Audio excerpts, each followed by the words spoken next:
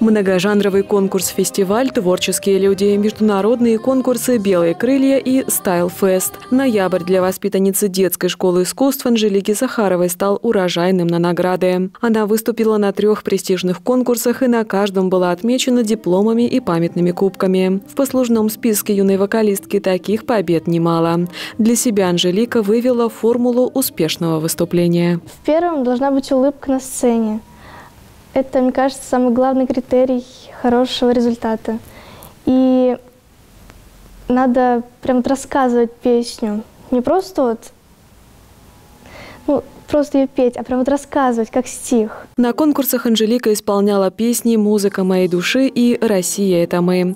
Вокалом она занимается уже 8 лет и за эти годы успела многому научиться у своего преподавателя Анжелики Ермаковой. Анжелика Анатольевна классная.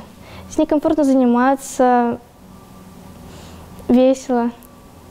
Мы с хором делаем концерты. Вот недавно был концерт на День матери. Я пела песню «Россия – это мы». Вот в этом году на мюзикл New Kids ездили трое детей Анжелики Анатольевны. И теперь я тоже планирую поехать в следующем году на New Kids. Анна Пелепец, Константин Островский, Сергей Рябов, служба новостей Саров 24.